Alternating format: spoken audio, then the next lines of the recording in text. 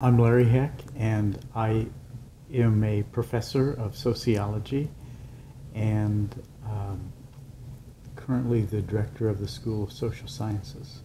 I'm Robbi Heck. I have a teaching degree from Newman. A scholarship could be a very attractive addition to getting a student to, to come to Newman.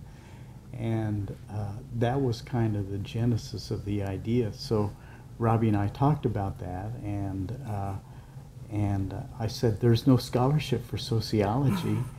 And uh, the way it looks to me like things work, if we if we had a sociology scholarship, it might help to bring students interested in sociology to Newman.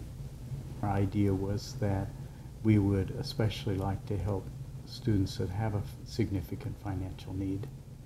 As a former student, um, you know, thinking about the support I got, you know, and uh, attending Newman and and getting a teaching degree out of that, you know, which has provided me with many opportunities. And at Newman, there's such a tremendous support from uh, everyone, faculty and staff, to help assist students Mhm. to move in the accomplishment of their goals.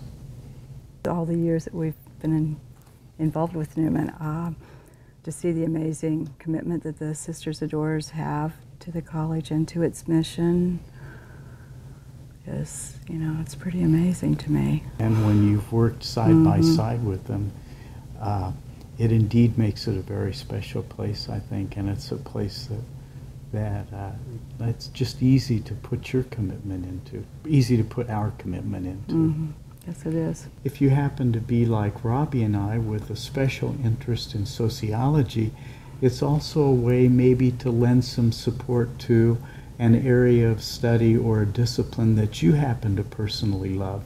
We help a student be successful, and we hope that student will be inspired by the mission and fulfill the mission and help to make the the dream of the sisters and all of the other people that have helped to keep this university alive and successful. It helps to make all of that come to fruition.